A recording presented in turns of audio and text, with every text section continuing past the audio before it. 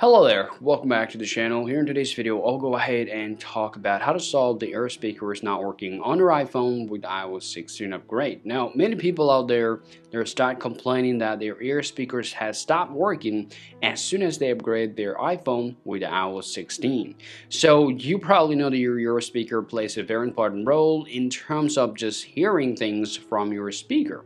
Now, if you want to solve your problem, there are a couple of things you need to go through. Now, your problem can happen for software and hardware related issues. So, you know, if you want to solve the problem, the very first troubleshooting process that I'm going to give you guys to just clean out your ear speaker. Well, your ear speaker can hold up a lot of dirt or just particle. So all you guys got to do is just go ahead and grab a cloth and make sure to clean up your ear speaker and now check your problem.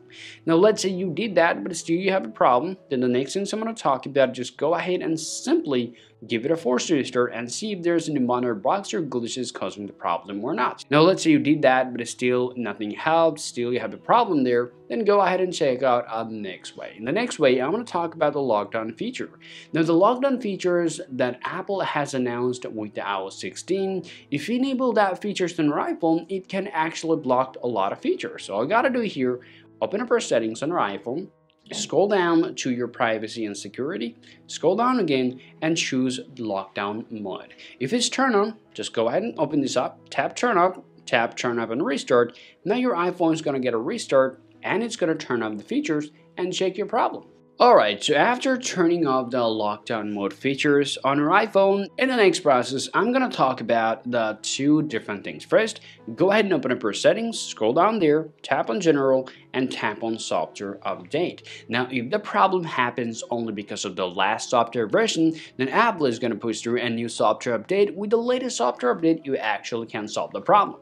However, though, if you don't find any software update for your iPhone here, then you wanna get back here, and you want to check out this option or settings called sounds and haptics. Now make sure you're actually putting it all the way to high. At the same time, while you are talking to your friends, make sure to press that volume up button and make sure your sound is all the way to high. Now in the next process, I'm going to talk about the hardware.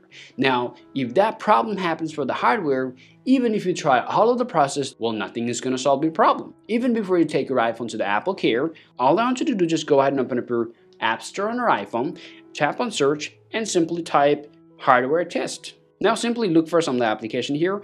Now I'm not really promoting any third-party application from here, but you can find or you can install an application just to test out your device. And I'm only using this application for educational purpose. So I'll just go ahead and open up this application from here.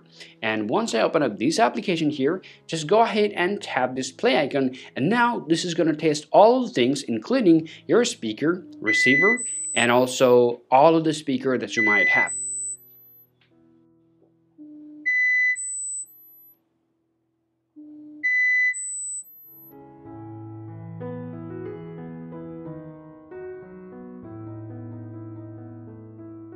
Alright, so after the test, if you just go ahead and take a look at the receiver here, well that's your actually the ear speaker. Well, if it says blue right next to the receiver, that means you've got no problem with the hardware. However though, if you say orange, well, then it can mean that you have a hardware-related problem, or even though if you couldn't hear any sounds while you were testing your ear speaker, well, in that case, you want to take your device to the Apple Care to solve your problem. And these are the ways that you guys can also follow to solve your ear speakers not working on your iPhone with iOS 16. Hope you find this video useful. If you think so, drop a like and subscribe to the channel. Thank you for watching, and I'll talk to you later. Peace out.